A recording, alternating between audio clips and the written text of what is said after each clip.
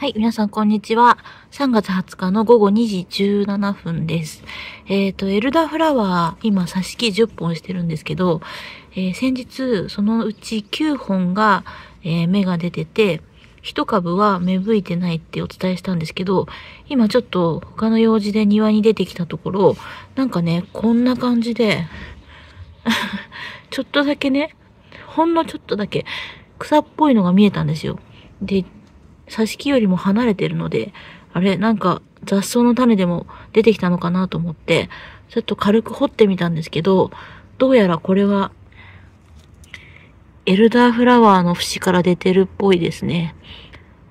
多分そうだと思うんで、これでね、10鉢中10鉢100%、